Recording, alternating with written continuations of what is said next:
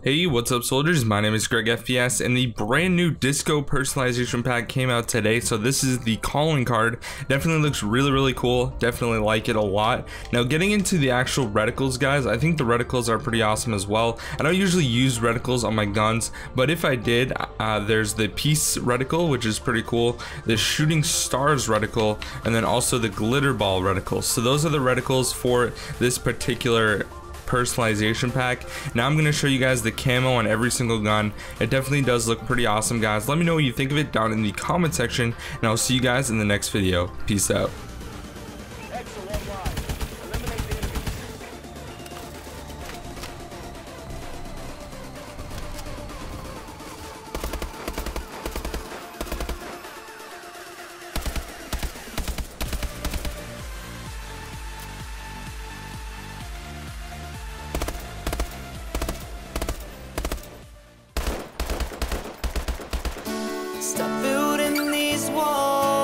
of calm.